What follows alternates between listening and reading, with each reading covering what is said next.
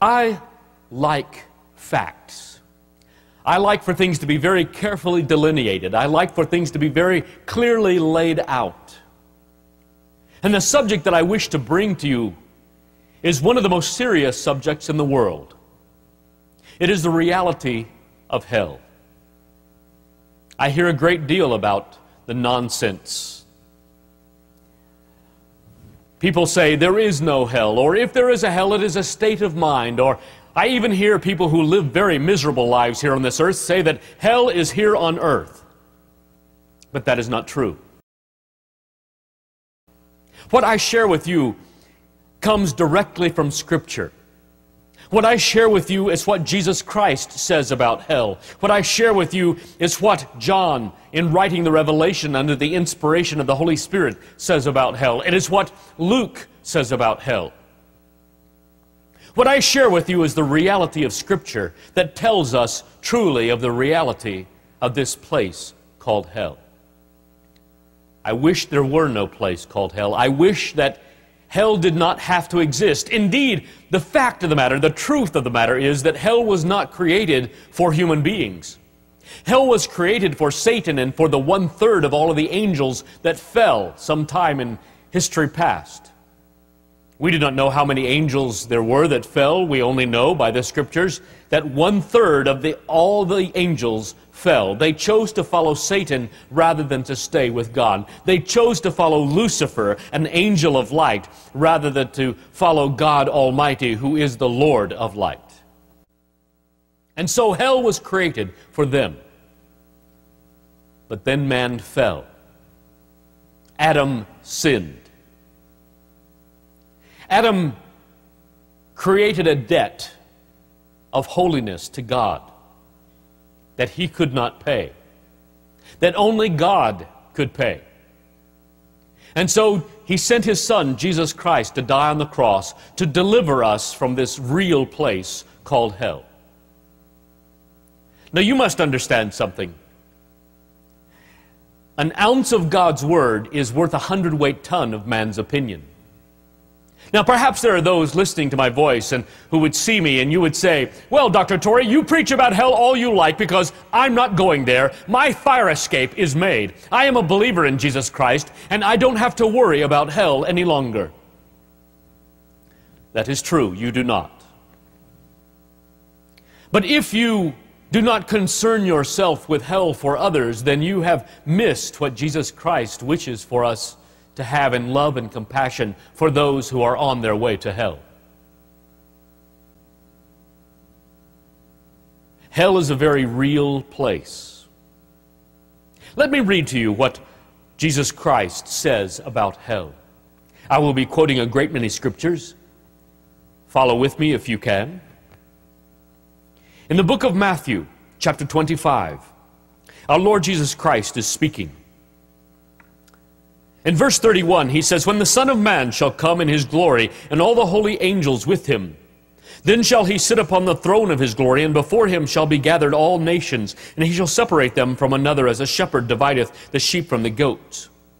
And he shall set the sheep on his right hand, but the goats on the left. In this story, the sheep are those who believe in Jesus Christ. The goats are those who do not. Then the king shall say to them on his right hand, Come, ye blessed of my father, inherit the kingdom prepared for you from the foundation of the world. For I was an hungered, and ye gave me meat. I was thirsty, and ye gave me drink. I was a stranger, and ye took me in. Naked, and ye clothed me. I was sick, and ye visited me. I was in prison, and ye came unto me. Then shall the righteous answer him, and saying, Lord, when saw we thee an hungered, or fed thee, or thirsty, and gave thee drink? When saw we thee a stranger, and took thee in, or naked, and clothed thee? Or when saw we thee sick, or in prison, and came unto thee? And the king shall answer and say unto them, Verily I say unto you, inasmuch as ye have done it unto the one of the least of these my brethren, ye have done it unto me. And he is not preaching a, a way to earn our salvation. He is telling us that those who believe in Jesus Christ should be involved in helping the poor and the sick and the needy. And that that is as much an outgrowth of our belief, our Christianity, as going to church. But now let us read further. Then shall he also say unto them on the left hand, Depart from me, ye cursed, into everlasting fire prepared for the devil and his angels. For I was an hungered, and he gave me no meat. I was thirsty, and he gave me no meat food. I was a, no water. I was a stranger, and he took me not in. Naked, and he clothed me not. Sick and in prison, and he visited me not. Then shall they also answer him, saying, Lord, when saw we thee an hungered, or athirst, or a stranger, or naked, or sick, or in prison, and did not minister unto thee? Then shall he answer them, saying, Verily I say unto you, inasmuch as ye did it not to the, one of the least of these, ye did it not to me. And these shall go away into everlasting punishment, but the righteous into life eternal. There is a real place called hell. Those who do not know Jesus Christ as their Savior are going to go there. And hell is a place of pain. Hell is a place of destruction. It is a place of torment. The scripture tells us in the book of Matthew, chapter 5, Matthew chapter 5, our Lord Jesus Christ is speaking. It is called the Sermon on the Mount. In verse 29, he says to this crowd of people seated around him, And if thy right eye offend thee, cause uh, pluck it out and cast it from thee, for it is profitable for thee that one of thy members should perish, and not that thy whole body should be cast into hell. And if thy right hand offend thee, cut it off and cast it from thee, for it is profitable for thee that one of thy members should perish, and not that thy whole body should be cast into hell. What Jesus Christ is trying to tell us here is that it would be better to suffer the loss of a hand or an eye than to go to hell. Oh, so often I hear people, they're very foolish. They say, Well, Dr. Torrey, I, I can stand great pain. Not this type of pain. This is the pain that is beyond human suffering. It is the pain of destruction. Scripture calls hell a place of perdition. The word in the Greek there is the word for destruction. It is almost as if something were eating away at your body, and every bite that it took of you was an intense pain, except that this pain will never end. And so I wish for you to understand that hell is real, but hell is also a place of destruction. Hell is a place of great pain. Oh, but again, I hear them. I hear these foolish people. Why, Dr. Torrey, I, I can stand a lot of pain. Hell is also a place of painful memory.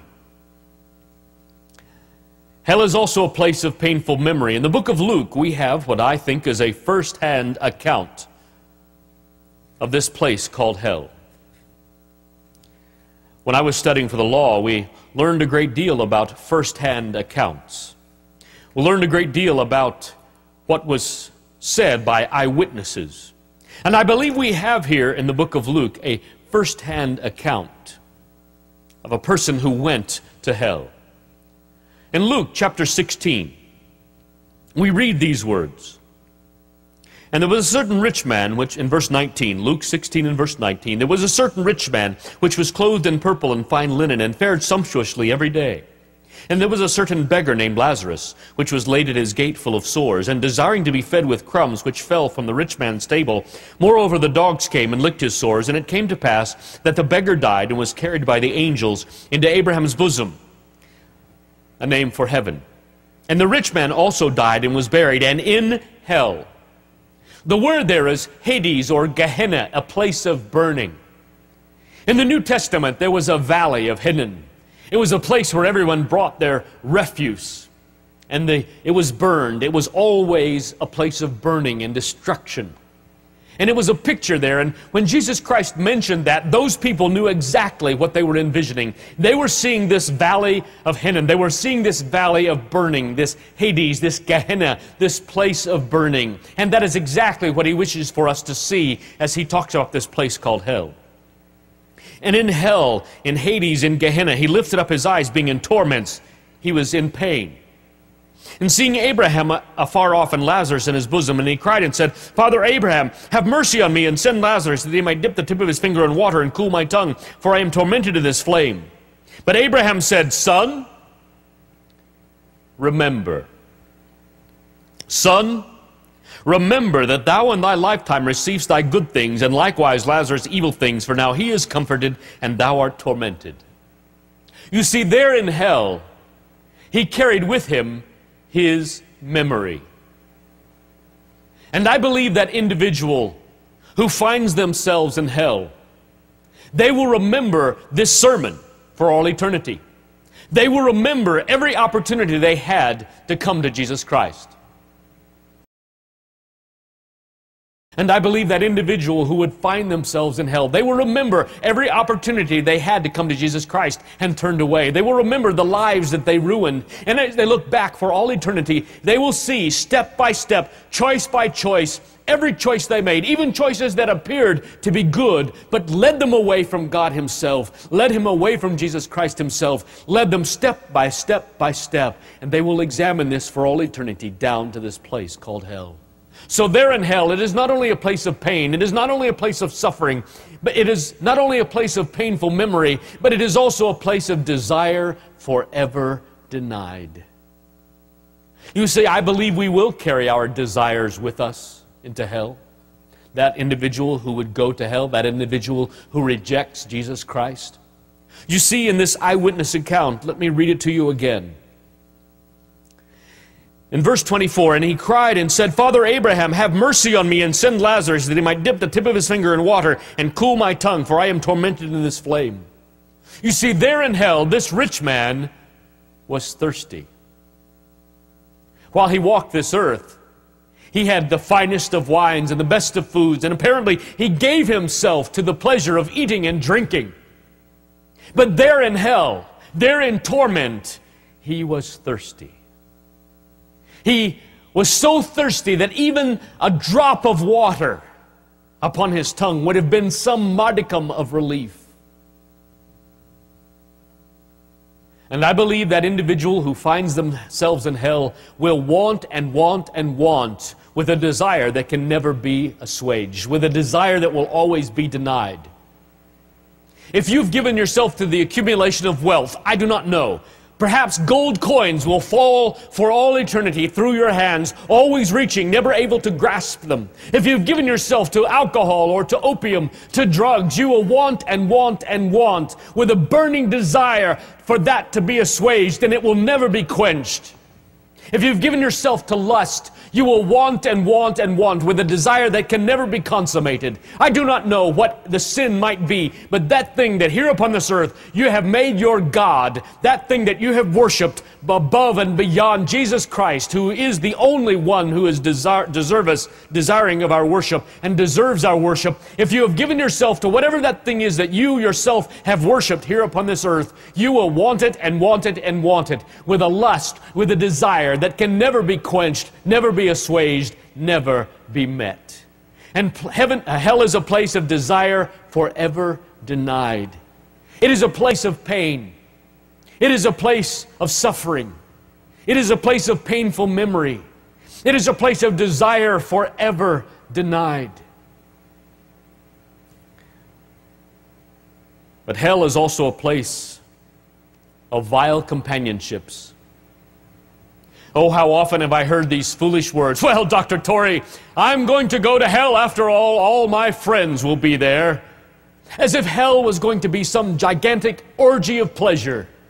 Let, let me read to you what these friends are going to be in hell. Let me read to you this list, if you will, that John gives us about hell. We have in the book of the Revelation, the last inspired book of the Scripture, we have here in the book of the Revelation, Revelation chapter 20 and verse 8. Here is a list of those who will be in hell. But the fearful, those are the cowards, and the unbelieving, and the abominable, those who have, who have committed the most heinous, perverted sins known to man, and murderers, and whoremongers, and sorcerers, those who have worshipped the black arts and idolaters, those who have set anything above Jesus Christ, and all liars shall have their part in the lake which burneth with fire and brimstone, which is the second death. Are these the friends? Are these the people with whom you plan to spend eternity? Cowards? People whose lives have been given over to lust? People who have worshiped Satan? Are these the friends? And so it is. Every individual that goes to hell steps over the crucified, buried, and resurrected body of Jesus Christ.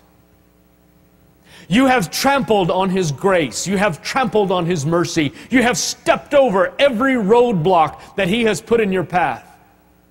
The roadblock of prayer, the roadblock of the Holy Spirit, the roadblock of the Scripture, the roadblock of Jesus Christ Himself. And you have chosen to go to this place called hell. Luke 16, okay? And uh, here's what Jesus has to say Is there really a horrible place of torment and suffering? Is there a literal hell? Well, here's what he says there. Okay, verse 19, okay? Here's what Jesus says. He said, Now there was a rich man who was dressed in purple and fine linen, and he lived in luxury every day. And at his gate lay this beggar named who? Lazarus. And this guy was covered with sores. And he, he was longing to eat what fell from the rich man's table. Listen, even the dogs, the dogs came and licked the sores. Eh, and the, the time came, though, when the beggar died, and the angels carried him to where? Abraham's side. That's what we saw, the good side of Sheol. Okay, that's no longer there. Okay, the rich man also died and was buried, and in where? Hell, where he was what? Partying? No, he was in torment. And so he looked up and he saw Abraham far away with Lazarus by his side. And so he called him. He says, Father Abraham, have pity on me and send Lazarus to dip the tip of his finger in water and cool my tongue because this is such an awesome place. Woo! I'm in agony, man, in this fire. But Abraham replied, Hey, listen, son, remember, that's a freaky word. What did Jesus say to the guy that was in hell? Remember. You will remember every opportunity you had to escape this place as a free gift from God, but you said no. No wonder it's described as a place of weeping and gnashing of teeth. Why? He says this He says, Remember that in your lifetime you received your good things while Lazarus received bad things, but now he's comforted here and you're in what? Agony. As we saw before, he says, besides all this, between us and you, there's this great chasm that's been fixed, so that those who want to go from here to you cannot, nor can anyone cross over from there to us. And he answered, Listen to this. Then I beg you, Father, send Lazarus where? To my father's house, for I have five brothers. Let him warn them so that they will not be uh, also come to this place of torment. Isn't it interesting? We're going to see this in a little bit, Lord willing, that half the American church rejects the existence of hell, but the people in hell are begging people still alive on earth, Would you warn my loved ones? Isn't that wild? Wow. And that's what he says. He says, don't, don't please. And Abraham replied, hey, listen, they got Moses and the prophets. Let them listen to them. In other words, they got the Bible, if you will. And he says, no, no, Father Abraham. He said, but if somebody uh, uh from the dead goes to them, they will repent. And listen what he said. He said to him, he says, if they do not listen to Moses and the prophets, listen, come on. They will not be convicted even if somebody rises from the dead. Wow, is that true or what? Right? No matter what you say, man, you can quote Bible till you're blue in the face. No, there ain't no hell. It's the same thing today, folks. According to our Bible, folks, the Bible clearly teaches that, listen, a place of eternal torment and suffering really exists. And again, I'll say this again. Keep in mind who's the one who's teaching this Jesus. See, we all want to pick and choose with the scripture, unfortunately. Okay? If, we all like that golden rule, do unto others as you'd have them do unto you. If we love one another, we'll keep his commandments. They'll know that you're my disciples when we love one. Oh, we love those. But Jesus right here says, guess what? Hell is real. You can't sit there and pick the parts that you like to hear from Jesus and then reject this. It's called hypocrisy. Okay? In fact, folks, this is wild. If you look at the Gospels, Matthew, Mark, Luke, and John there, you're going to see that Jesus spoke, listen, more about eternal punishment in hell than he ever did about heaven. And the words that he used were extremely graphic. One of them was a, a, a word called Gehenna. Now, now, you and I don't get that, so let me elaborate on that. But the people of Jesus' day, when he talked about it, got it. Here's what Gehenna was. Listen to this. The word hell translate from Gehenna, which means the valley of Hinnom. And it was the valley that was west and south of Jerusalem that, listen, the Canaanites worshiped Baal and the god Molech by sacrificing their children in a fire that burned constantly. Can you believe that? They chucked their kids alive into the fire of this hot piping idol just for the sake of personal well being and convenience. We don't do that today, do we? We don't murder children for the sake of personal well being. Well, let's continue on. And then at the time of Jesus, the Valley of Hinnom was also used as a garbage dump of Jerusalem.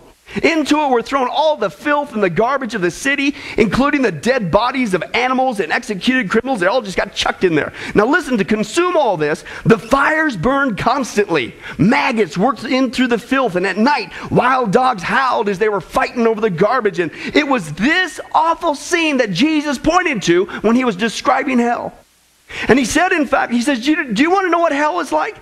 He said, Look at Gehenna. It's God's cosmic garbage dump. All that is unfit for heaven will be thrown into that place, a place called hell. Jesus said that. Very, very graphic, okay? Describing hell, okay? And again, folks, that's just the tip of the iceberg.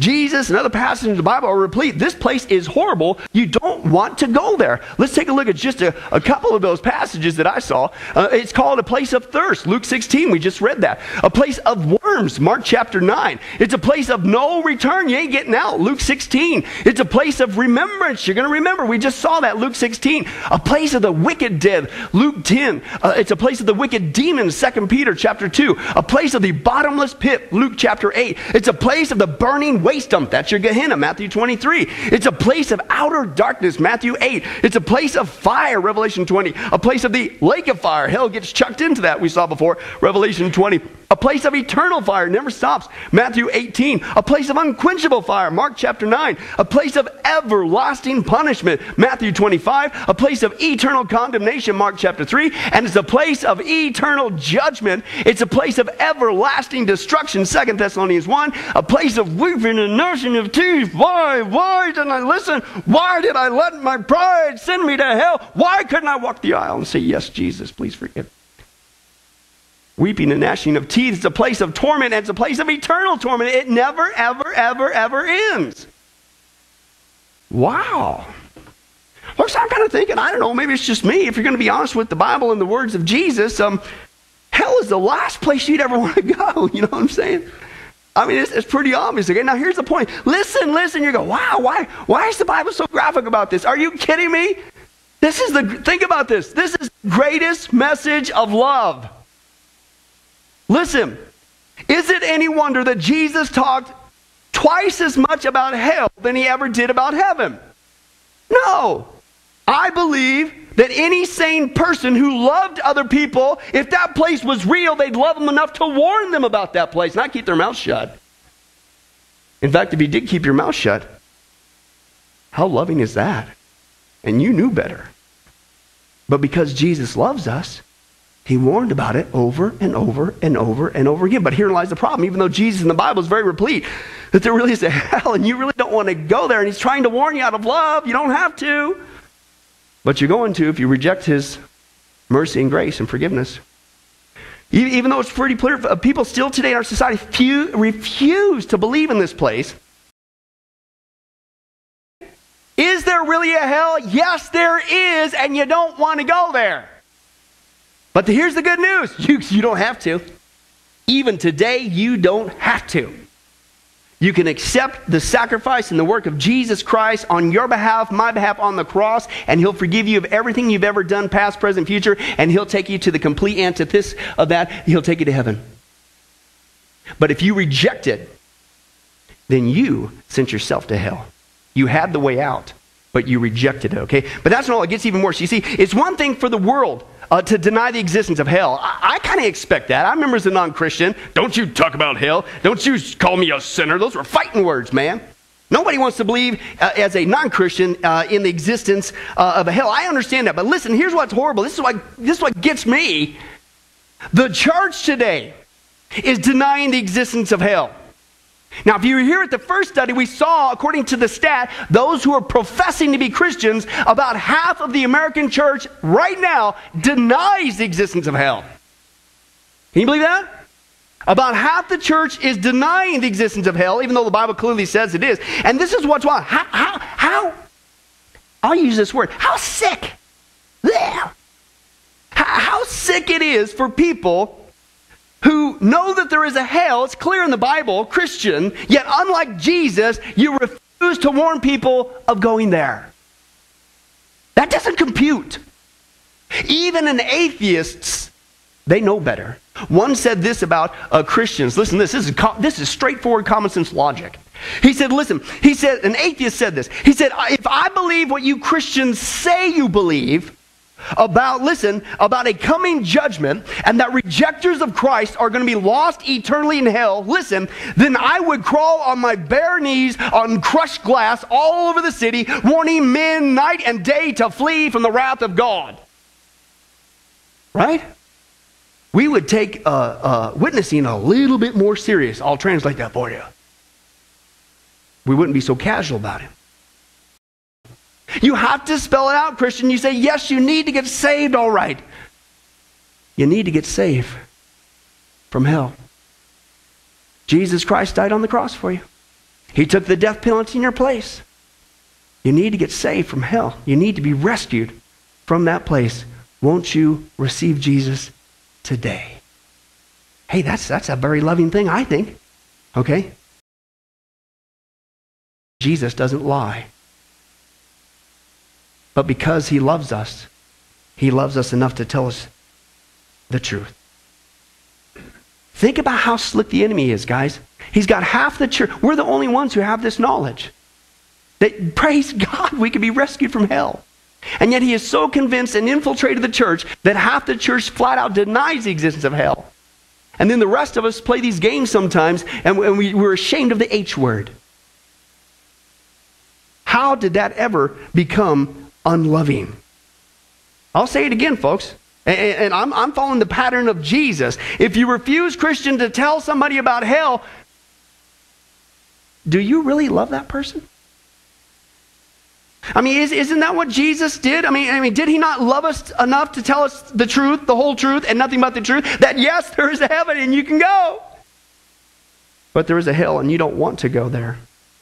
And then think about this. I mean, isn't this what Sunday should really be about? I mean, the core issue, whenever we meet as Christians, isn't this what it should be about? That we celebrate the fact, listen, that yes, praise God, Jesus Christ came to forgive us of all of our sins. But because we're forgiven of our sins, He came to rescue us from hell. I don't care, it is well with my soul. I don't care how bad you got it on planet Earth. God's never promised us a rose garden. But man, just the one biblical truth I'm not going to hell. Isn't that enough to keep a smile on your face till we get to heaven?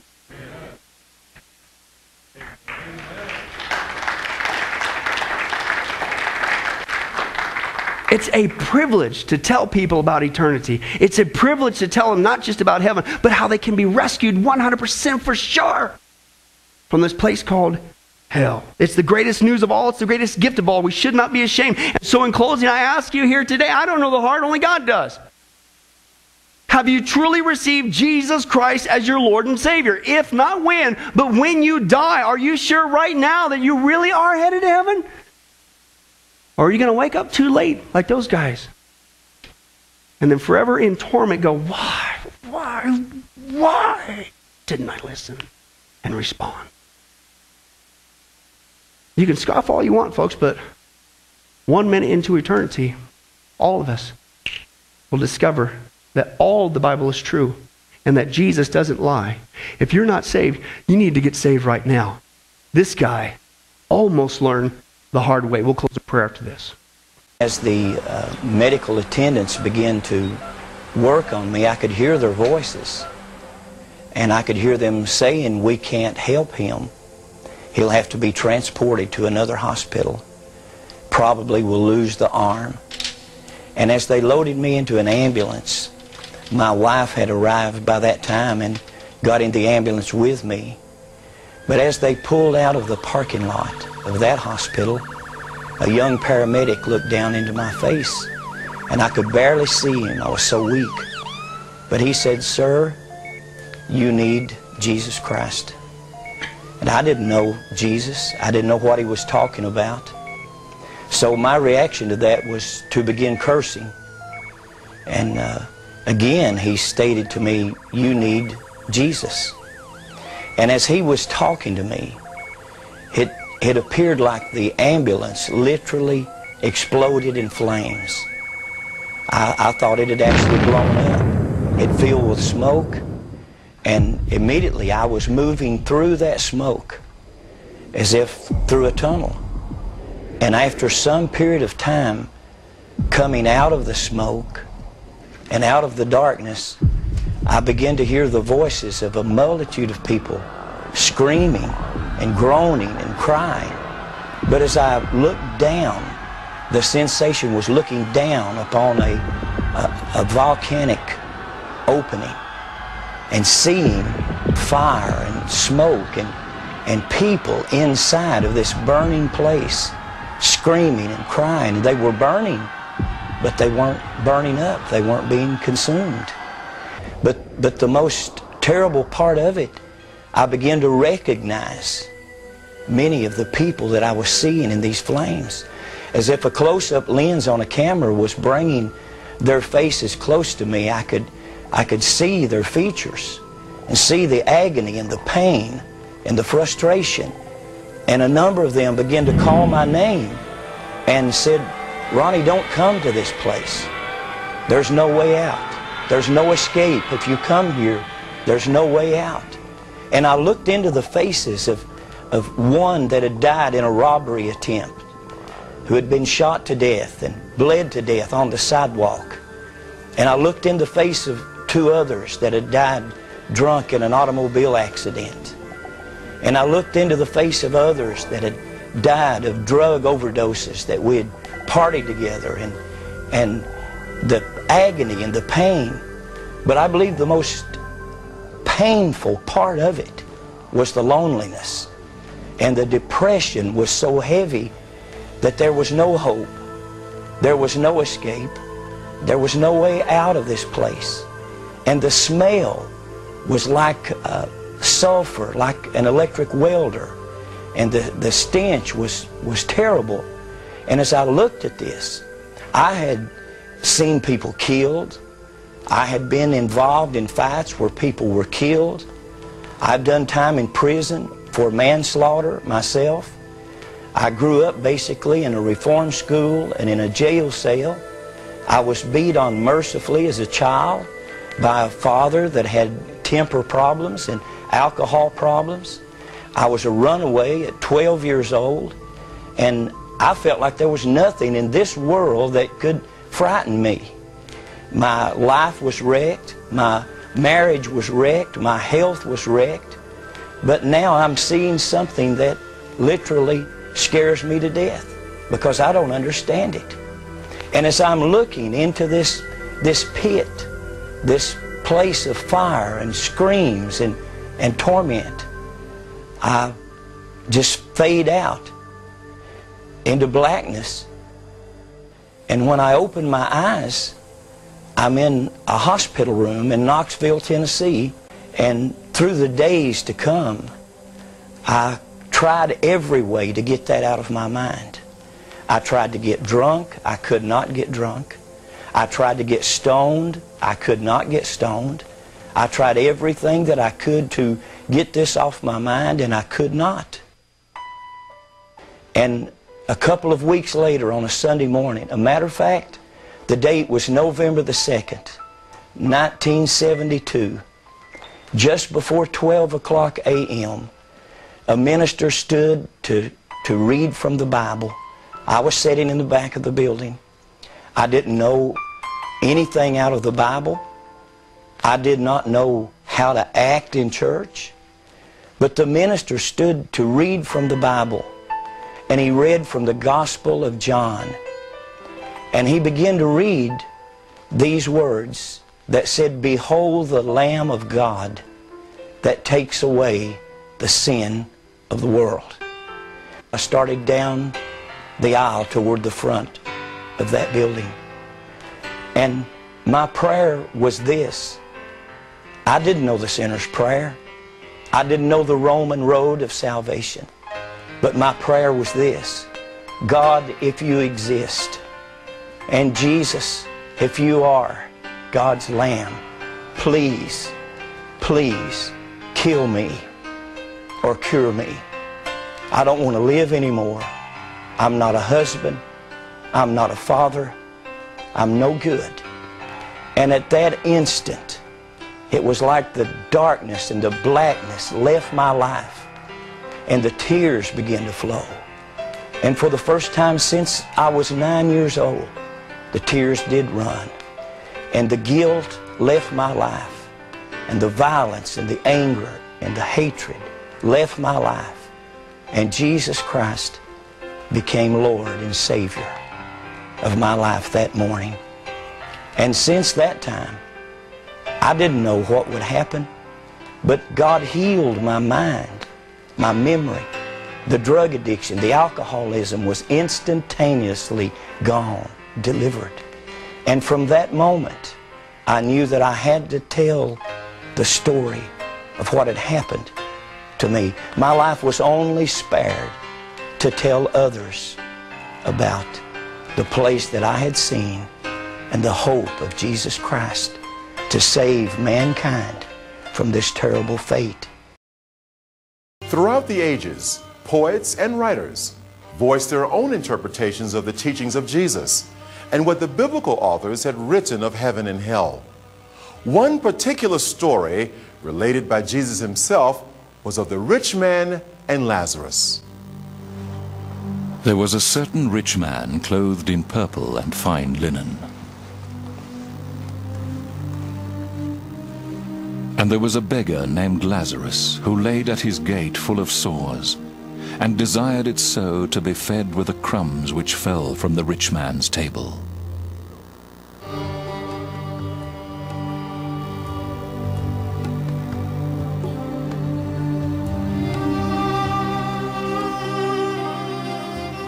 Moreover, the dogs came and licked his sores.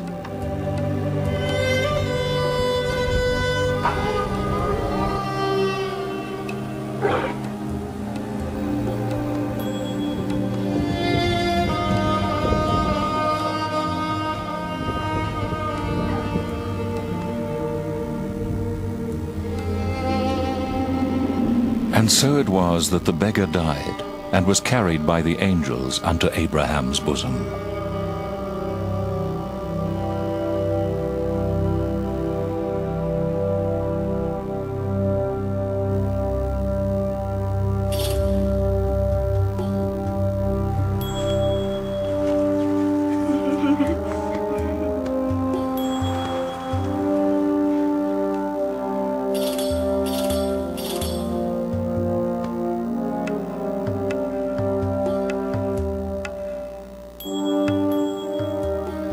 The rich man fared sumptuously every day, feasting and dining to his delight.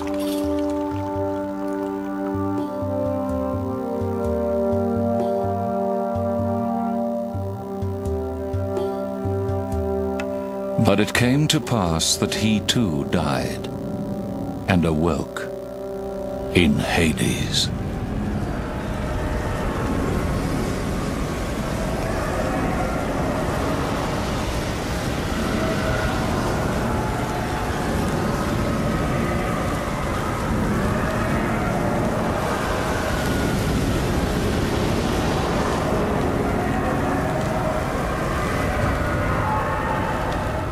And while in torment, he looked up and saw Lazarus and Abraham afar off.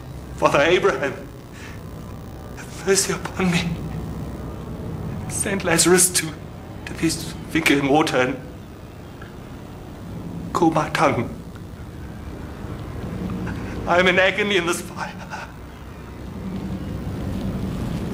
My friend, remember that while you lived, you had everything good, and Lazarus everything bad.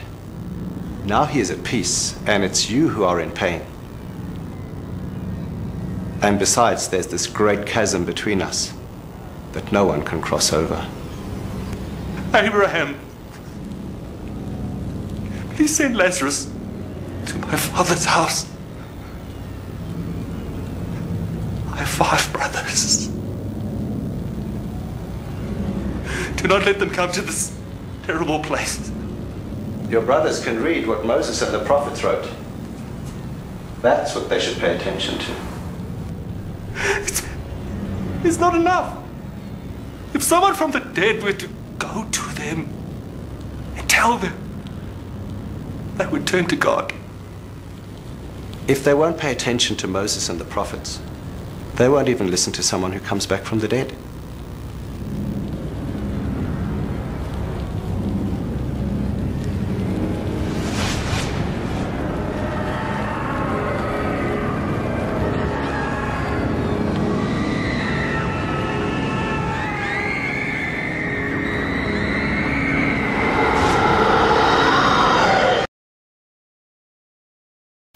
The Bible says, if we claim we have not sinned, we are lying and calling God a liar, for he says we have sinned.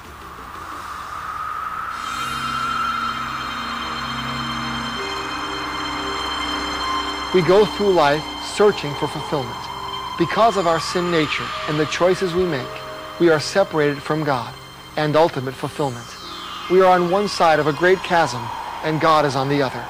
From our perspective, it seems there are many ways we can get to God. But in reality, our attempts to find God using philosophy, religion, psychology, New Age spirituality, or being a good person will never work.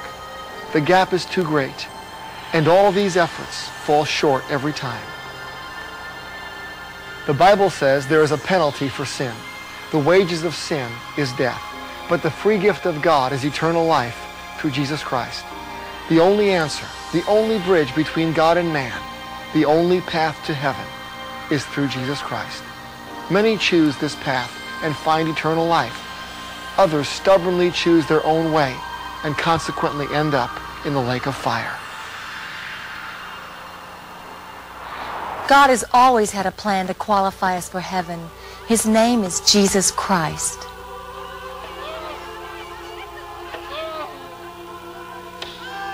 The Bible says God demonstrated his own love for us in this.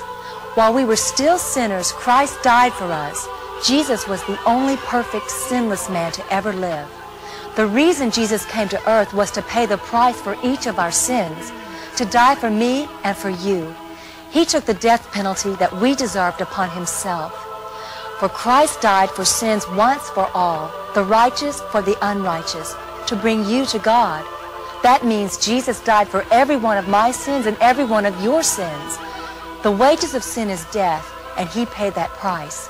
God's justice was carried out. With Jesus' last breath, he said, It is finished. But according to the Bible, that's only half the story. It gets better. To prove once and for all Jesus was the Son of God, three days after his body was placed in a tomb, God raised Jesus from the dead. The resurrection is the most well-documented miracle in history. Legal experts tell us that the evidence for the resurrection would stand up in a court of law today. After he was crucified in front of hundreds of people, over a 40-day period, Jesus appeared to over 500 eyewitnesses. This was no ghost. They talked with him. They ate with him. They touched him. Those who hated and murdered him could never refute this historical fact. Think about this. The difference between Jesus and every other religion is this. Jesus said, I am the Son of God, and proved it by rising from the dead. The Bible says, For God so loved the world that he gave his one and only Son, that whoever believes in him shall not perish, but have eternal life. Jesus said, I am the way, the truth, and the life. No one comes to the Father except through me. The path to eternal life is narrow and few find it, but the road to destruction is wide. It seems Jesus knew that few would believe he is the Son of God. Few would understand he is the only bridge to heaven. He knew many people would try other routes to heaven that only end in destruction. At least now you know the truth. You are aware of God's plan to get you to heaven. You are also aware of the plight of men and women. The Bible says God gave you a soul. You will live for eternity. The question is, where will you live? In heaven with God, your creator, or in hell with the devil and those demons we heard about earlier? Remember, the same 80% of Americans who believe there is a heaven also believe there is a hell. The Bible describes heaven as a place where there is no pain, no tears, just pleasure, and what the Bible calls joy unspeakable. On the other hand, those who go to hell will be thrown into a lake of fire where there is weeping and gnashing of teeth. An eternity in hell means total darkness, excruciating pain, absolute loneliness all the time, without even a glimmer of hope. Amazingly, God gives you the ability to choose your destiny. No one can make that decision for you. But make no mistake, there are eternal consequences. It is by far the most important decision you will ever make. The Bible makes entrance into heaven very simple. Either you believe Jesus was the Son of God, or you deny it. It's black or white. As you can see here, there's no gray area, no neutral ground. If you think he was a wise teacher but not the Son of God, you're denying Jesus. If you think he was a great prophet but didn't really rise from the dead, you are denying Jesus. So where do you stand? Do you believe? Before you answer that, you need to be absolutely clear on what true belief is.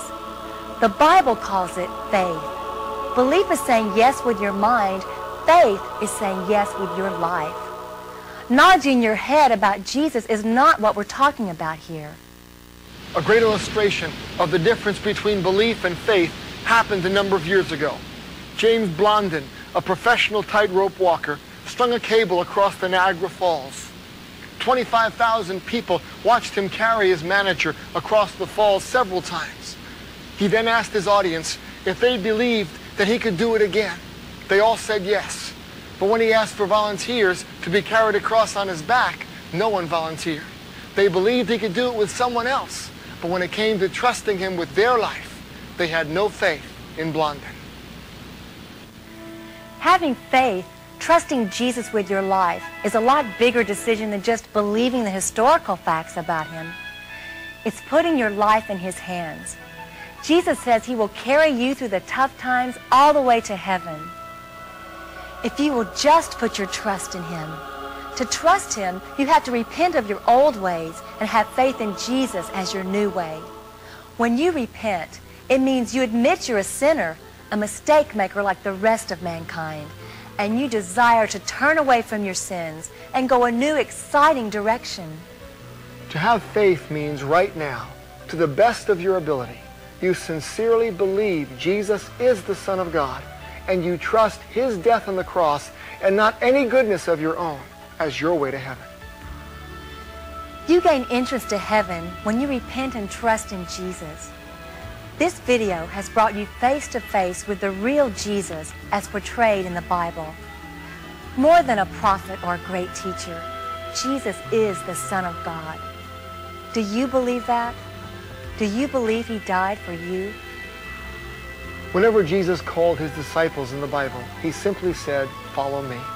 Today you can make the same decision they made over 1900 years ago. To trust Jesus and begin your walk with him, simply pray a prayer of repentance. Ask God for his forgiveness. You can pray this prayer with the person who gave you this video. Pray it later by yourself, or you can pray it with us right now. Lord, I just pray, God, that you help me. There's no certain words you must use to pray a prayer of repentance and forgiveness. You just have to be sincere when you do it. Let's pray. I'm sorry, God. I'm sorry, God. I want to turn around and follow you. I want to turn around and follow you. Instead of following my own selfish ways. Instead of following my own selfish ways. I've made a lot of mistakes in my life. I've made a lot of mistakes in my life. Lord, please forgive me of my sins. Lord, please forgive me of my sins. I realize now that you saved me from the punishment of my sins. I realize now that you saved me from the punishment of my sins. And made it possible for me to go to heaven. And made it possible for me to go to heaven. In Jesus' name, amen. In Jesus' name, amen. When you ask, Jesus will answer. The Apostle John said, if we confess our sins, he is faithful and just and will forgive us of our sins and purify us from all unrighteousness. When you pray your first sincere prayer of repentance, you have acted on your faith. And God says you are forgiven. Your slate is wiped clean. At the point you trust in Jesus Christ and seek Him by faith, you spiritually cross over the bridge from death to life. You are reborn spiritually.